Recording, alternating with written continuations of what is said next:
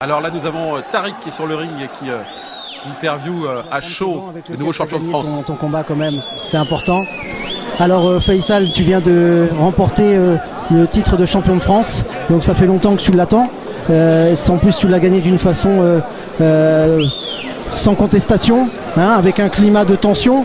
Donc euh, je pense que tu as beaucoup de choses à dire là-dessus, euh, surtout sur ton combat. Écoute, tout d'abord, euh, je voulais, j'avais vraiment envie de gagner ce combat. Je voulais gagner par arrêt de l'arbitre, mais je voulais pas gagner par KO. Je voulais, je voulais pas que ça aille aussi loin, que ce soit aussi dramatique pour lui. Mais je boxais, je voulais faire la différence, je voulais faire un beau combat. Parce que j'ai passé une mauvaise année 2010. J'ai perdu un combat, j'ai gagné un combat, mais c'était une mauvaise prestation que j'ai fait à Toulon.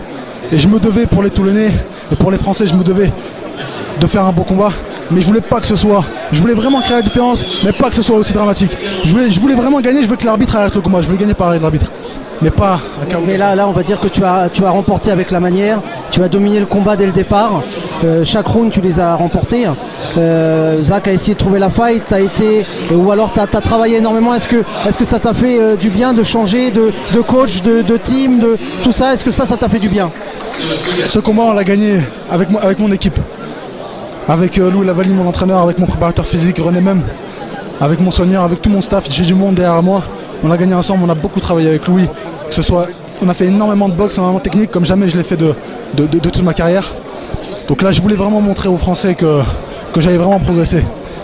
Et, je, veux, je dédicacer cette victoire à tous les Toulonnais, à tous les Français, vraiment du fond du cœur. Mais aussi, je veux pas oublier les Tunisiens, parce que je suis Tunisien, je suis aussi Marocain. J'ai trois nationalités, donc j'oublie pas mes pays d'origine, la Tunisie et le Maroc. Je les embrasse très très fort et je leur dédicace ma victoire aussi.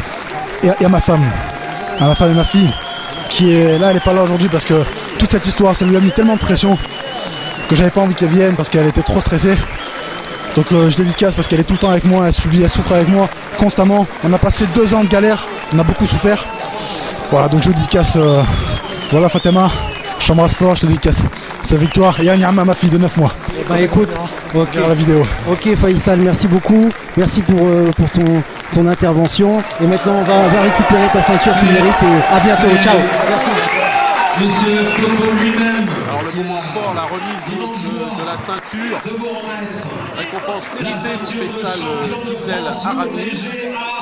Ouais, on peut dire aussi que Zakaria n'a pas dû mériter. Il a fait son match, il a avancé, il a essayé de construire son combat, il tapait, il a essayé de, de, de bousculer son adversaire. Bon. Et puis bon, moi, aujourd'hui, euh, c'est Faisal qui était plus fort, mais, mais Zakaria n'a pas démérité, ça il faut le dire quand même. Ce combat a été commencé euh, dans la tension et il se termine dans le respect. On le voit encore dans les- ces dernières images. Alors Il y a toujours vous, beaucoup de respect dans la boxe, de toute façon. hein. alors, on va vous saluer avec Christophe euh, Thiozo. Donc on vous remercie d'avoir suivi ce championnat de France euh, avec nous et on vous invite à suivre les prochains épisodes de Fighting Spirit. Au revoir. Bah, Jean-Pierre, je te dis à bientôt aussi, et puis euh, au revoir aux auditeurs. Merci beaucoup. au revoir. rencontre ce genre de gala